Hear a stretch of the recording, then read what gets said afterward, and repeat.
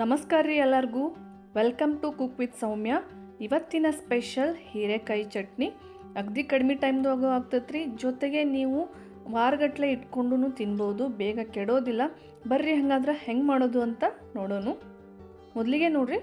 ಸ್ವಲ್ಪೇ ಸ್ವಲ್ಪ ಶೇಂಗಾ, ಒಂದು ಸಣ್ಣ ಕಪ್ಪಷ್ಟು ಶೇಂಗಾನ ನಾನು ಹುರ್ಕೊಳತ್ತೀನಿ ಶೇಂಗಾ ಹಾಕೋದ್ರಿಂದ ಹೀರೆಕಾಯಿ ಚಟ್ನಿಗೆ ಒಳ್ಳೆಯ ರುಚಿ ಕೊಡ್ತೈತ್ರಿ.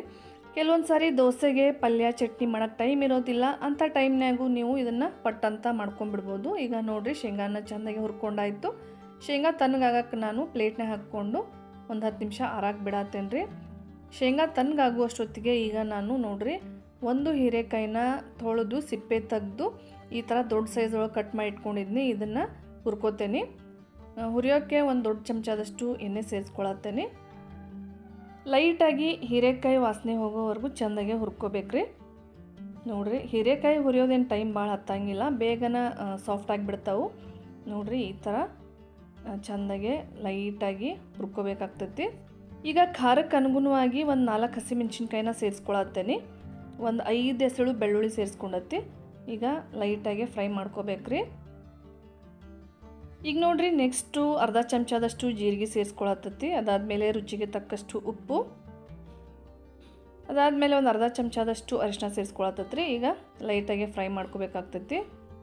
ಬಿಸಿ ಬಿಸಿ ಅನ್ನ ಮತ್ತು ತುಪ್ಪ, ಈ ಚಟ್ನಿ ಇದ್ರೆ ಅಗದಿ ರುಚಿ ಇರ್ತೈತ್ರಿ. ಜೊತೆಗೆ ಚಪಾತಿ ಮತ್ತು ರೊಟ್ಟಿ ಎಲ್ಲದಕ್ಕೂ ಮ್ಯಾಚ್ ಆಗ್ತೈತಿ.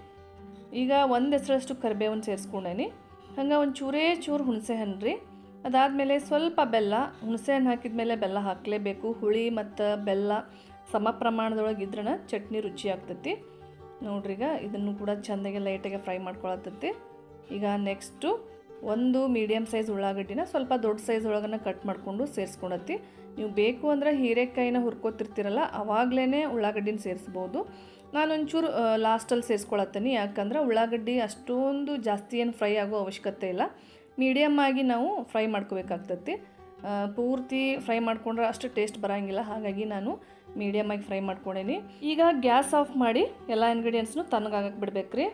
ಈಗ ಹತ್ತು ನಿಮಿಷ ಆಗೈತ್ರಿ, ಒಗ್ಗರಣೆ ಫುಲ್ ತಣ್ಣಗಾಗೈತಿ ಇದನ್ನು ನಾನು ಒಂದು ಮಿಕ್ಸಿ ಜಾರ್ಗೆ ಸೇರಿಸ್ಕೊಳತ್ತೇನೆ ಎಲ್ಲ ಇಂಗ್ರೀಡಿಯೆಂಟ್ಸ್ನು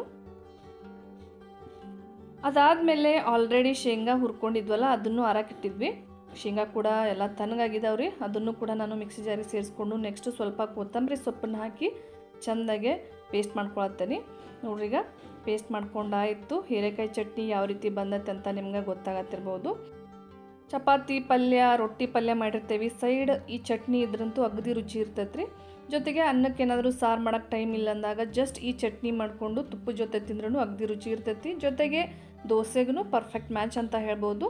ಸೊ ನೀವು ಕೂಡ ಈ ರೀತಿ ಚಟ್ನಿ ಟ್ರೈ ಮಾಡಿ ನೋಡ್ರಿ. ನಿಮ್ಮೆಲ್ರಿಗೂ ಇವತ್ತಿನ ಸ್ಪೆಷಲ್ ಉತ್ತರ ಕರ್ನಾಟಕದ ಹೀರೆಕಾಯಿ ಚಟ್ನಿ ಇಷ್ಟ ಆಗೈತಿ ಅಂತ ಅಂದ್ಕೊಳ್ತೀನಿ ಇಷ್ಟ ಆದ್ರೆ ಲೈಕ್ ಮಾಡಿರಿ ಶೇರ್ ಮಾಡಿರಿ. ಹಂಗೆ ಇವತ್ತಿನ ರೆಸಿಪಿ ಬಗ್ಗೆ ಏನೇ ಅನಿಸಿದ್ರು ಕೂಡ ಕಮೆಂಟ್ಸ್ ಬಾಕ್ಸ್ ಒಳಗೆ ತಿಳಿಸೋದನ್ನ ಮಾತ್ರ ಮರಿಬೇಡ್ರಿ. ಮತ್ತೆ ಸಿಗೋಣಂತ ಮತ್ತೊಂದು ಹೊಸ ಈಸಿ ರೆಸಿಪಿ ಜೋಡಿ ಅಲ್ಲಿವರೆಗೂ ಎಲ್ಲರಿಗೂ ನಮಸ್ಕಾರ ರೀ. ಶರಣ್ರಿ